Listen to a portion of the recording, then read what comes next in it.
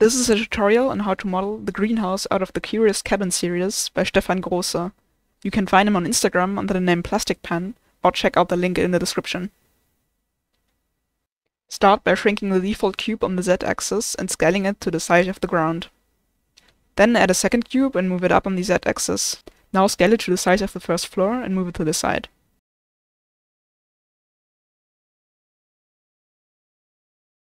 For the wall ornaments, extrude out some differently sized squares. Then extrude out the second floor and end it with another ornament. For the greenhouse part of the roof, we are first going to block it out. Just focus on the proportions here. For the rounded parts of the roof, we are going to use the bevel tool. To increase the number of cuts, just scroll up on the mouse wheel. As you can see, by using the bevel tool, we created some doubled vertices. To fix that, just select the vertices, hit M, and select Merge at Center. Next we're going to add subdivisions for the windows of the greenhouse. Start by adding a loop cut at the center of each side. To add a loop cut that goes straight, press E to let it snap to one side, and F to change the side it snaps to. Now you just have to let it snap to the center loop cut that is straight. To divide one side into thirds, just bevel the center loop cut. Now repeat that with the other side as well. To delete the new double vertices, select all and press M to merge by distance. For the subdivisions near the corner, add Noah loop cuts. Then select the three vertices, with the center one being the active one, hit M, and select Merge at last. By selecting a vertex and pressing G two times, you can move it along the edge. Using that technique, you can go around and straighten out the corner edge loops.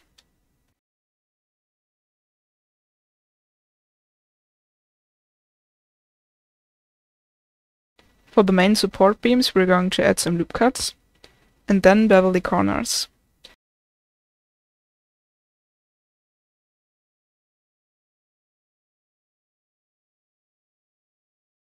Now select all the faces and extrude them along the normals.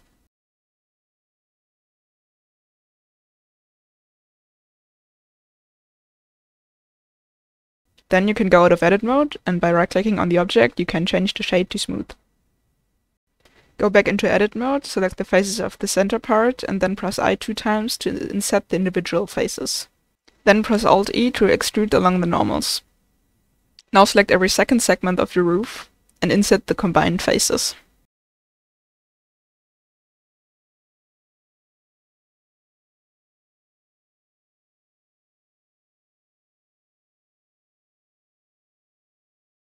Extrude those faces along the normals too. Then repeat that for the remaining segments.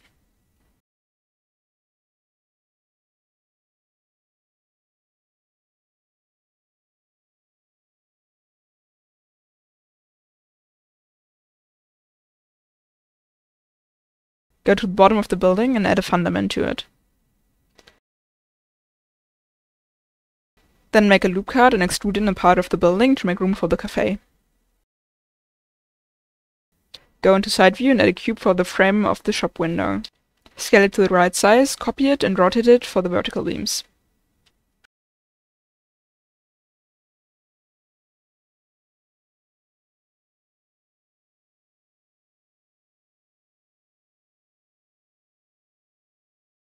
For the window pane, copy the faces from the backside and move them to the front.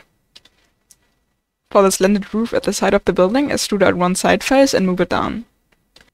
Tap out of edit mode, move the cursor to the roof and add a circle. Then change the number of vertices to 16 in the bottom left menu.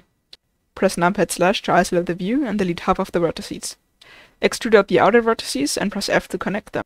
Then select all and press F to make a new face. And then scale everything down and move it to the right place. Add a solidify modifier, adjust the thickness, and then add an array modifier.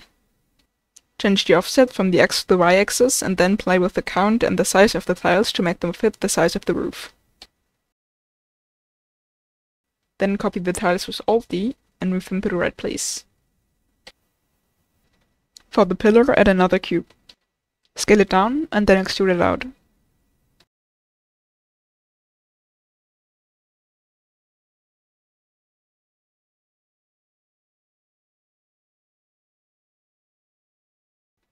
To make the pillar look more interesting, select the bottom edge of the top part and bevel it. In the bevel menu, change the profile type to custom and either choose a preset or create your own profile by using the curve in the bottom. Keep in mind that you have to increase the segments for the profile to show in the bevel.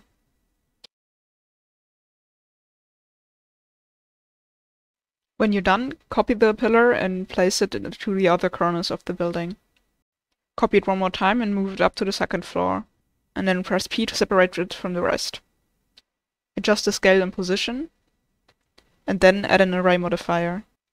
Change the offset from the x to the y axis, and then increase the count to 4. Now adjust the offset so the spread is even. Copy that for the other side, rotate it 90 degrees, and then change the count to 2. For the stairs, add another cube and scale it down. Extrude at the front part and then bevel the edge. In the bevel menu, under Profile type, select Custom and then set the preset to stairs. Select the side faces, inset them, and then extrude them along the normals. Go into Vertex Select mode and select the outer edge of the platform and one vertex on the bottom stair. Then press Pre and separate the selection. Go back into Object mode and change the mesh into Curve. Go back into Edit mode and put the cursor to the vertex near the wall. Then set the origin to cursor. Add a plane, go into Edit mode and rotate it 90 degrees on the y-axis scale it down to the height of a railing, and then add some loop cuts. Turn on proportional editing and set it to sphere. Then make the bottom part of the railing curve out and the top part curve in. Then add in solidify and a subdivision modifier. We could now array the railing along the curve, but as you can see that would rotate and deform the railing along the curve as well, and we don't want that. Therefore, we're going to add another plane, and then add the array modifier to that plane instead. Change the offset from relative to constant, and then select Fit to Curve. Here you can select the curve we made earlier. Then add a curve modifier and under curve object, select our curve again. Select the plane and then merge it at the center. So now instead of a plane we only have one vertex. Now we will parent the railing to our vertices. Make sure the vertices are in the bright color for that. Then in the object menu to the right, under instancing, select vertices. As you can see, we fixed the rotation problem. But we still want the railing to rotate on the z-axis. Therefore, I just copied everything and changed the rotation in the copy. Then I went back in and deleted all the parts I didn't need.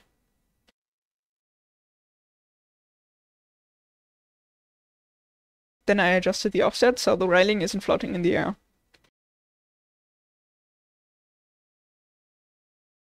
Now you can also make sure that you disable the visibility of the original railing in the render. For the handle, I just copied the original curve and moved it up on the z-axis. Then in the curve menu, under bevel, just increase the depth. Lastly, I changed the shade to auto smooth. For the windows on the top floor, add a circle. Change the alignment to view, the vertices to 32, and the fill type to n-gon. Go into edit mode and then extrude and scale up. Delete the lower left quarter of vertices and repeat that for the right side. In the upper menu, enable snapping and select snap to vertex. Then extrude down the other two vertices along the z-axis and let it snap to the bottom vertex. Connect the bottom three vertices and extrude them down two more times. Now you can adjust the proportions and then select the outer edge, extrude it and scale it up. Isolate the view and line the outer vertices up with the rest. Then fill the empty faces. Press A to select everything and extrude it out. Go into face select mode and inset the window faces.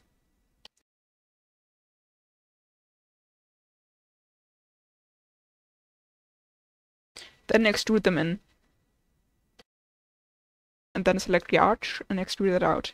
Select the outer edge of the window frame, copy it, and separate it. Scale it on the y-axis and then close the open faces. Select the main building and add a boolean modifier. Then under Object, select the window cutout. To actually see the boolean, display the cutout as wire. I only want the boolean to affect the lower part of the building, so I'm separating the roof. As you can see, the boolean isn't working properly, so I'm adding a solidify modifier. Change the thickness to a value where it isn't glitching anymore. Then parent the cutout to the window. Go into edit mode and copy the window around the building.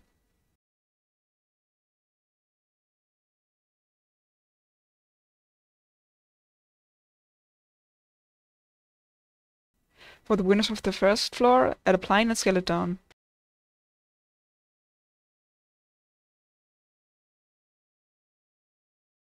Then add some loop cuts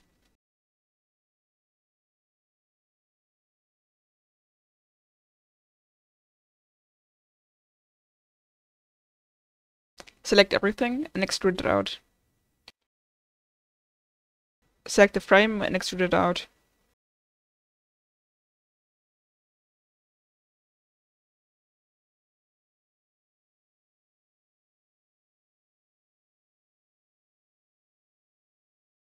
Select the edges that form the cross and middle and bevel them.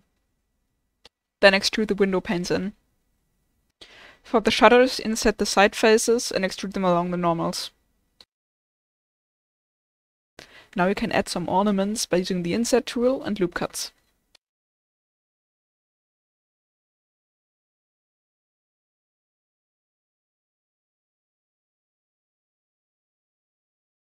To add some details to the shutters, we're going to add another plane scale it down and rotate it on the x-axis. Then add an array modifier and change the offset to something negative on the z-axis. After that, add a solidify modifier. Then copy it to the other side as well. Parent the shutter details to the window, and then copy it around the building with Alt-D.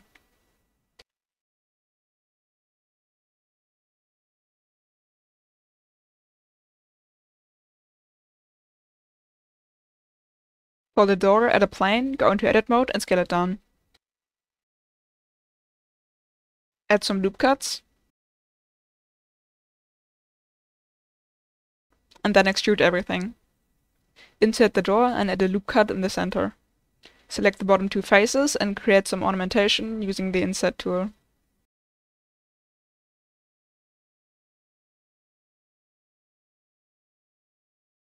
Then create some windows on the top part using the same technique.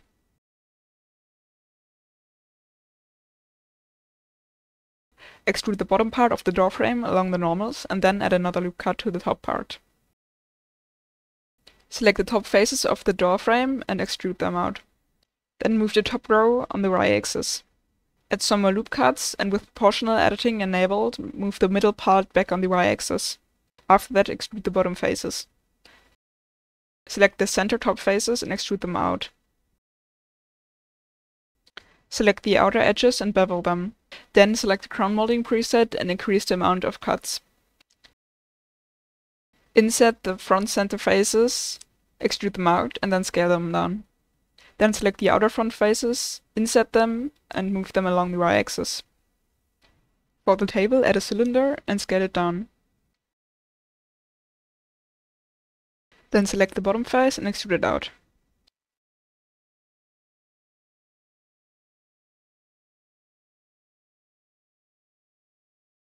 Now add a cube for the chair. Go into edit mode, scale it down and move it to the side. Then scale it up along the y-axis. To make the legs, copy the cube and rotate it.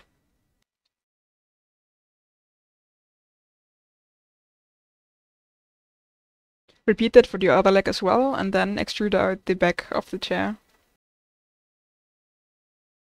Now we'll move the legs to the side so it doesn't clip. Then add a mirror modifier and enable clipping. Add some loop cuts to the seat and the back of the chair. Select the inner faces and insert them. Then extrude them out. Now you can go out of edit mode and adjust the scale if needed. Copy the chair with Alt-D, and then parent the chairs to the table. Now you can copy the table set and place it on the sidewalk and in the cafe. For the sunroof, add a cylinder, change the vertices to 16, rotate it on the x-axis and scale it down. Then select one of the side faces and extrude it out. Add some loop cuts and with proportional editing enabled, move it down on the z-axis. Then add another cylinder for the front part. Change the shade to smooth. For the rain pipe, add a curve. Go into edit mode and rotate it 90 degrees. Then right click on the curve and set the handle type to poly. Then change up the shape of the pipe using the extrude tool.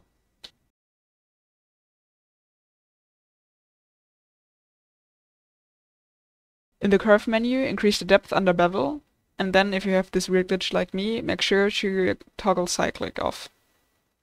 If you want to add more subdivisions, you can do that by selecting two vertices and then right click on the object to subdivide. To make the bottom of the pipe flare out, select the last vertex and press Alt S to scale it. Then convert the curve to mesh, add a solidify modifier, and select some of the loops to bevel them and extrude them along the normals. Change the shade to auto smooth, and if you have these rending lines, go to the side menu and increase the angle. I then decided to add some flower pots to the sidewalk. Therefore add another cylinder and extrude out the shape of a flower pot. Then add a curve for the stem of the plant. Extrude out a winding shape.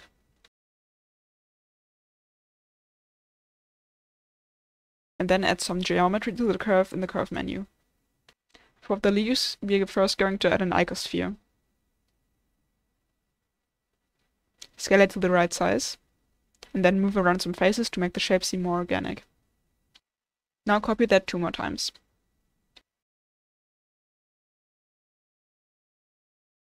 Then add a plane and model the simple shape of a leaf.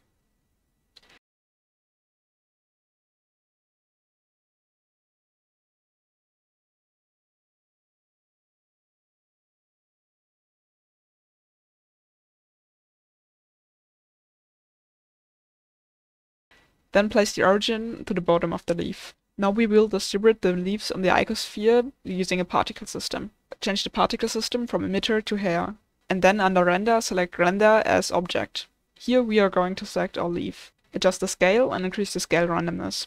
Then select the advanced feature and randomize the rotation. As you can see, the rotation doesn't show up, so we have to change the orientation axis from velocity hair to normal tangent. To add plants to the inside of the greenhouse, we are first going to change the viewport display of the rooftop to wireframe.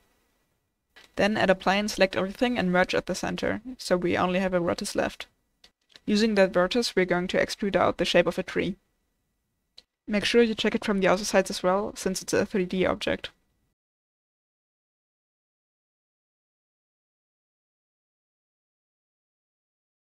If you're satisfied with the shape, add a skin modifier to the tree. You'll notice the skin modifier is way too thick. To fix that, press Ctrl A and scale it down. Then go back in and adjust the individual scale of the vertices.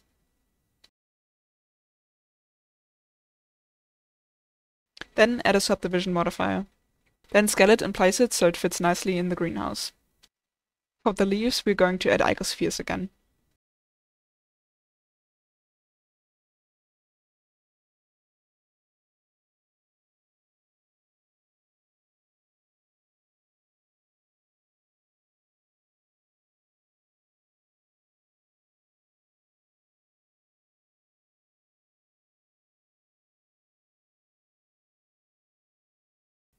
Then add a plane for the ground of the greenhouse.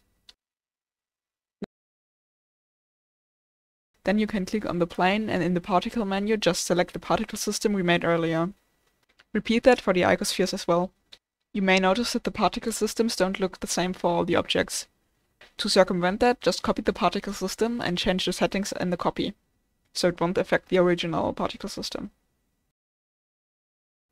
Add a cube for the background, scale it up, and then bevel it.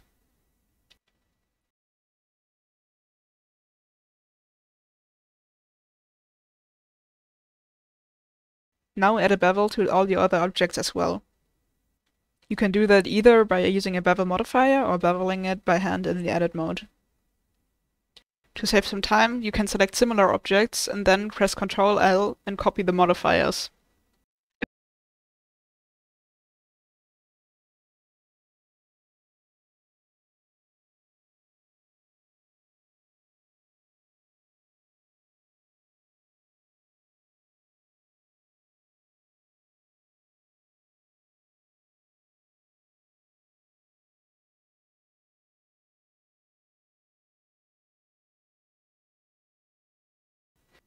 If the Bevel modifier isn't working properly, it most likely has to do something with flipped normals or double vertices.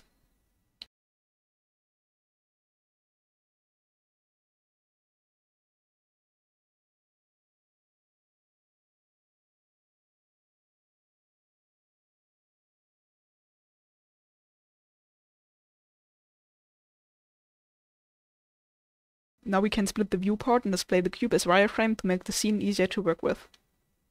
Now select the camera and change the type from perspective to orthographic. Then adjust the position using the slide bars. Change the render engine to cycles, the device to GPU, lower the sample size and check the denoise feature. Then change the left viewport to render view. I also changed it to square resolution. Now grab the light, place it, and adjust the power and radius. Then copy the light for some colored backlighting. Lower the power and change the color. Now remove all the icons from the left viewport. Change the right viewport to material view and start texturing.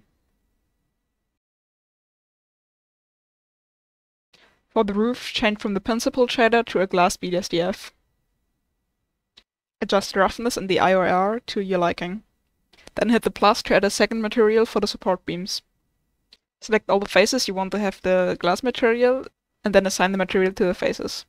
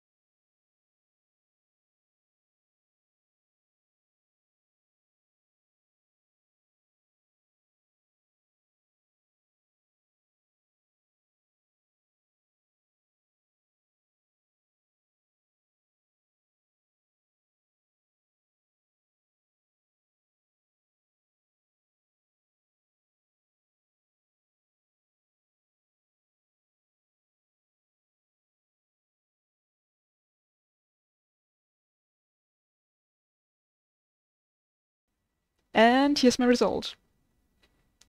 If you followed along with this tutorial, I would love to see yours. See you next week. Bye!